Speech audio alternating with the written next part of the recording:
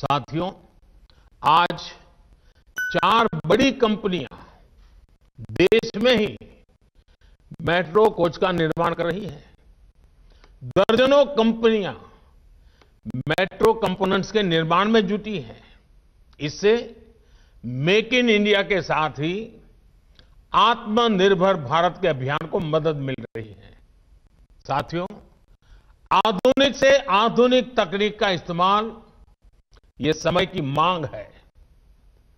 अभी मुझे बिना ड्राइवर के चलने वाली मेट्रो रेल का उद्घाटन करने का अवसर मिला है।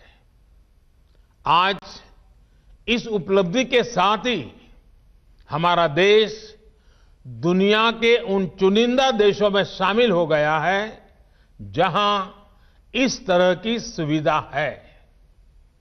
हम ऐसे ब्रेकिंग सिस्टम के भी प्रयोग कर रहे हैं, जिनमें ब्रेक लगाने पर 50 प्रतिशत ऊर्जा वापस ग्रिड में चली जाती है।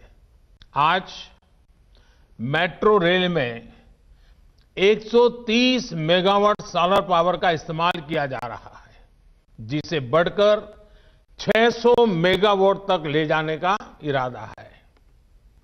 आर्टिफिशियल इंटेलिजेंस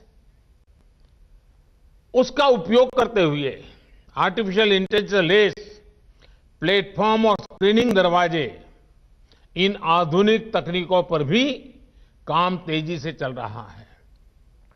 साथियों आधुनिकरण के लिए एक ही तरह के मानक और सुविधाएँ उपलब्ध कराना बहुत ज़रूरी है।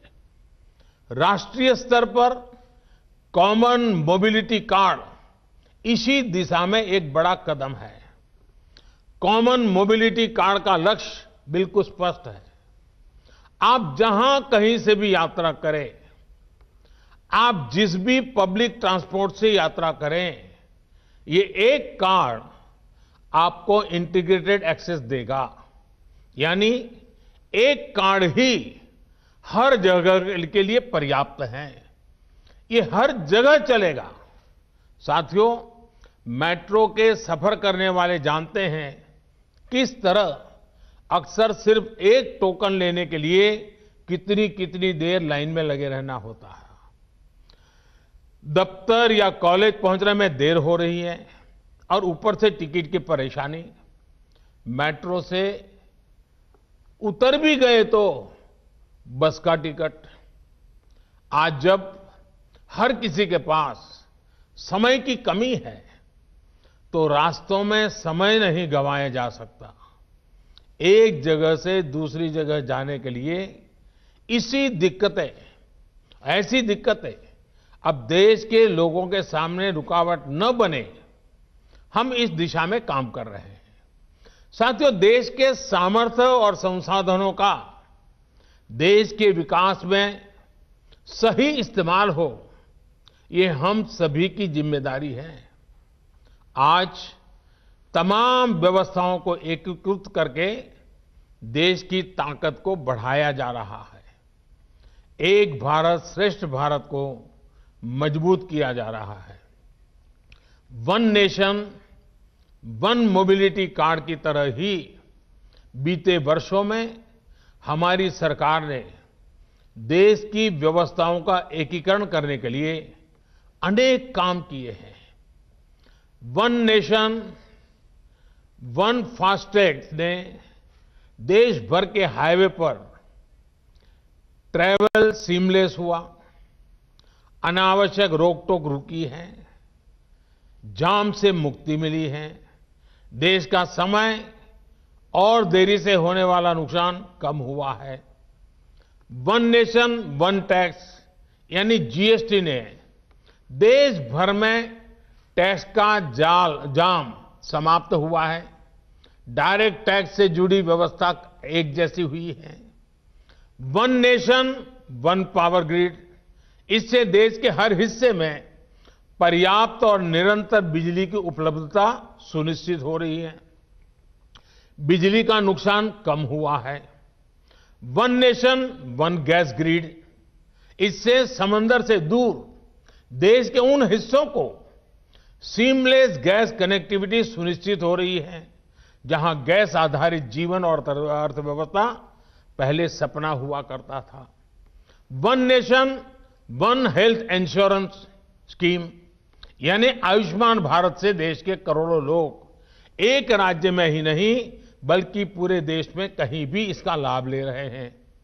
One nation, one ration card इससे भी एक स्थान से दूसरे स्थान जाने वाले नागरिकों को नया राशन कार्ड बनाने के चक्करों से मुक्ति मिली है। एक राशन कार्ड से पूरे देश में कहीं भी सस्ते राशन की सुविधा संभव हो पाए हैं। इसी तरह नए कृषि सुधारों और इनाम जैसी व्यवस्थाओं से one nation, one agriculture market की दिशा में देश आगे बढ़ रहा है। साथियों देश का हर छोटा बड़ा शहर 21वीं सदी के भारत की अर्थव्यवस्था का बड़ा सेंटर होने वाला है। हमारी दिल्ली तो देश की राजधानी भी है। आज जब 21वीं सदी का भारत दुनिया में नई पहचान बना रहा है तो हमारी राजधानी में वो भव्यता रिफ्लेक्ट होनी चाहिए। इतना पुराना शहर होने की वजह से इसमें चुनौतियाँ ज़रूर है, लेकिन इन चुनौतियों के साथ ही हमें इसको आधुनिक आधुनिकता की नई पहचान भी देनी है। इसलिए आज दिल्ली को आधुनिक स्वरूप देने के लिए अनेकों प्रयास किए जा रहे हैं। दिल्ली में इलेक्ट्रिक मोबिलिटी को बढ़ाने के लिए सरकार ने इनकी खरीद पर टैक्स में भी छूट दी है। दिल्ली की सैकड़ों कॉलोनियों का नियमितीकरण हो या फिर झुग्गियों में रहने वाले परिवारों को बेहतर आवास देने का प्रयास, दिल्ली की पुरानी सरकारी इमारतों को आज की ज़रूरत के अनुसार एनवायरमेंटल फ्रेंडली बनाया जा रहा है। जो पुराना इंफ्रास्ट्रक्चर है, उसको आधुनिक टेक्नोलॉजी आधारित इंफ्रास्ट्रक्चर से बदला जा रहा है। साथियों, दिल्ली में पुराने टूरिस्ट डेस्टिनेशन के अलावा 21वीं सदी के नए आकर्षण भी हो। इसके लिए काम जारी है। Delhi international conference, international exhibition, international business tourism, इसका अहम सेंटर होने वाला है। इसके लिए द्वारका में देश का सबसे बड़ा सेंटर बन रहा है।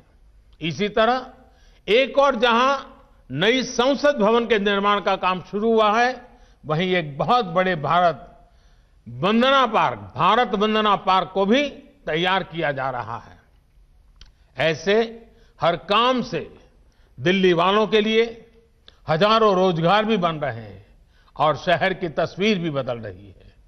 दिल्ली 130 करोड़ से अधिक आबादी की दुनिया की बड़ी आर्थिक और सामरिक ताकत की राजधानी है। उसी भव्यता के दर्शन हो, यहाँ होने चाहिए।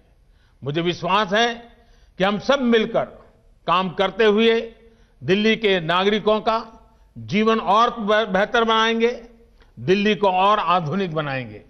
एक बार फिर नई सुविधाओं के लिए मैं देश को भी और दिल्ली वासियों के भी बहुत बहुत बधाई देता हूँ। फ़िक्र आपकी, सोमवार से शुक्रवार, रात नौ बजे, सिर्फ़ टीवी नाइन भारत वर्ष पर।